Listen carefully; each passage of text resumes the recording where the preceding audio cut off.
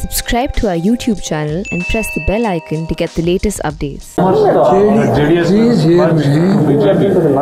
hear me. The situation arose when the assembly election was going on. Rahul Gandhi was addressing the public gathering. There somebody gave the cheek. They organized the B BJP. The Minister who fought the battle all my throughout my life. If Rahul Gandhi is misled by the state leaders, what is the punishment? 130 Congress came to 78. That is the suffering of the Congress. My say position was 33, I came to 38.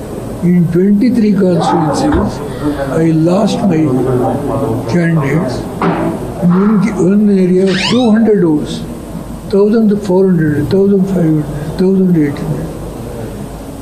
23 constituencies. I lost, they lost 52 seats. 130 they contest. There is one world. Karnataka brought BJP to power. See here, the issue is I fought this battle. How Congress wants to demolish this party